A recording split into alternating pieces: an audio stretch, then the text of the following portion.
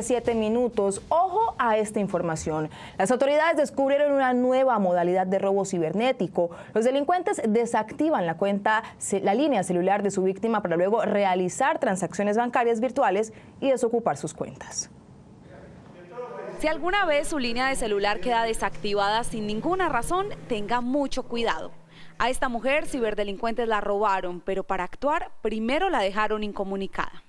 Hace pocos días mi celular se quedó sin señal, por consiguiente desde otro celular llamé a mi operador donde me informaron que efectivamente sí se había hecho un error porque se había entregado una SIM en otro lugar. Una vez la víctima perdió comunicación con su banco, los ciberdelincuentes actuaron. Se me hizo muy raro.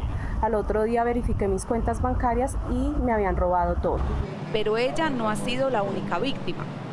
Cuando por fin pude reactivar la línea y recuperar los datos, me llegaron dos mensajes de texto al celular em, notificándome de dos transacciones con el Banco de Vivienda que por supuesto yo no había hecho. Sin embargo, en este caso, el banco sospechó de la transacción y desactivó sus movimientos bancarios. Pero ojo, porque la víctima trató de activarlos nuevamente y se llevó una sorpresa. Me dicen que si yo hago el desbloqueo, se hace efectivo inmediatamente el débito de las dos transacciones que los delincuentes dejaron programadas.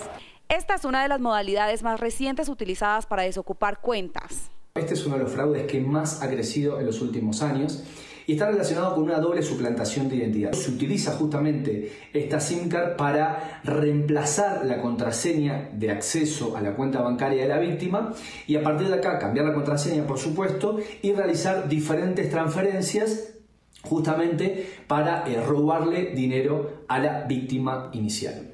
Preste mucha atención a las recomendaciones para que no le suceda y si le pasa pueda reaccionar a tiempo. No entregue sus claves, los datos personales. Cuando reciba llamadas de los bancos, cerciórese con el banco que están solicitando esta información. En ambos casos ya hay denuncia ante la Fiscalía y los bancos ayudaron a proporcionar nombres, cuentas bancarias y datos de los ciberdelincuentes para dar con sus paraderos.